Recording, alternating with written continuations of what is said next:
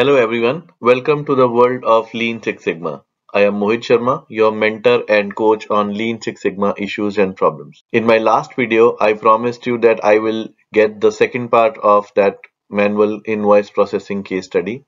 So in this video, we are going to talk about the second part of the manual invoice processing case study. In the previous case study, we are already aware that there is a multinational organization where thousands of invoices are processed daily. But because of some system constraints, there were some cases where order management team requires a manual invoice creation and the accounting team then has to create those manual invoices. The problem that we resolved in the last video was that they were taking so much time to create those manual invoices.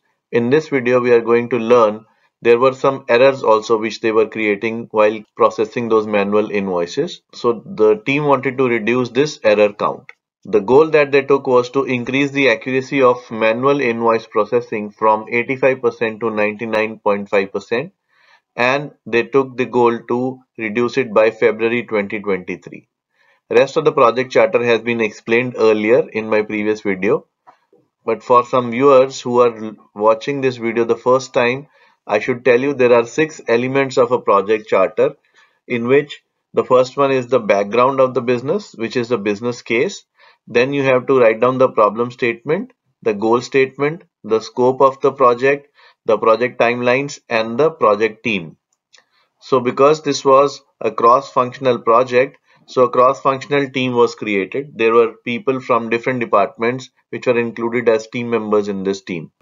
The project sponsor was Vice President Finance. The project champion was AVP Finance. Project owner was Manager Finance. Mentor is, I'm writing my name here, and the team members are A, B, and C. The next thing the team did was to identify the potential X's to the problem. So the potential X's to low accuracy, some of them were incorrect inputs from sales representatives, knowledge gap of the associates who were processing those invoices, the process was lengthy and it was manual.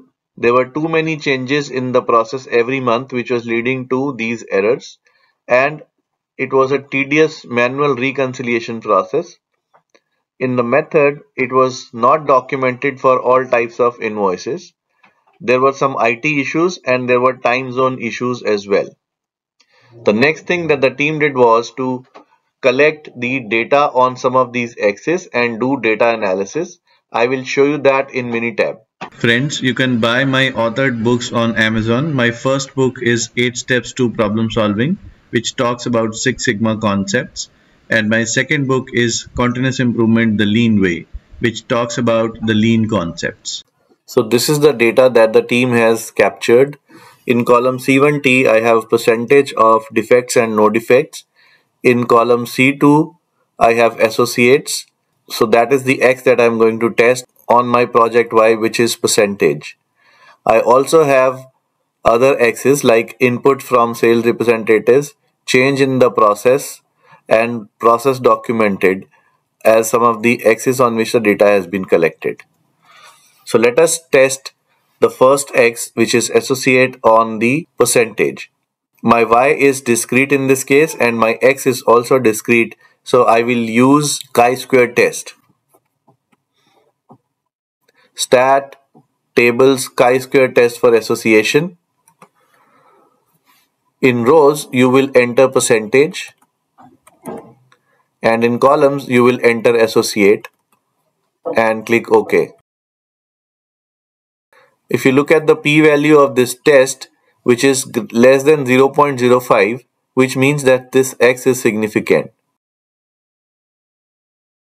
Now if you look at this associate 2 is supposed to make 7.2 errors but it is making 11 errors. So associate 2 is the one who is making more errors than expected. So there is a need of training this associate. Next we are going to check inputs from sales representatives whether they were received correct or not correct inputs. If I press Ctrl E, I will be able to reach to the previously used command in Minitab. So I used Ctrl E and chi-square test for association is open in front of me. Under rows, I will keep the percentage and under columns I will enter inputs from sales representatives and I will click OK here. Now let me look at the p-value. The p-value of less than 0.05 states that this is also a significant x. So if you go up and see when the input received from sales representatives are not correct, NC means not correct, we are making 11 defects and the expected value is 2.25. So which states that I have to receive correct inputs from sales representatives. Let's test the next X which is change in the process. In columns, enter change in process and click OK. Look at the p-value which is greater than 0.05 in this case. Hence, this x is not a significant x. So, I will not work on this particular x. Now, let's test the last one which is process documented. So let's enter process documented under columns and click OK. If you look at the p-value of this process which is less than 0.05 signifies that process documented is one of the significant x's. Where the process is not documented which is n the expected errors were 3.15 and we were making 9. So it means wherever there is no process documented available, the number of errors goes up. So we had to work on this particular X as well. Let's understand how the team identified these solutions to these particular problems. Friends, you can buy my authored books on Amazon. My first book is 8 Steps to Problem Solving, which talks about Six Sigma concepts and my second book is continuous improvement the lean way which talks about the lean concepts. So after the data analysis the significant X's were identified. The first one is the associate 2 which was creating more defects. Team used YY approach to find the solutions to these significant X's.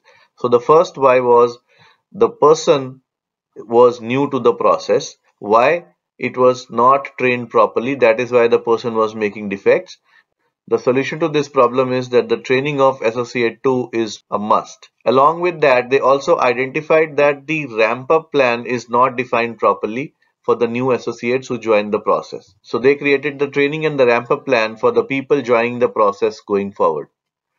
The next significant X is inputs from sales representatives. So that was also one of the significant X's.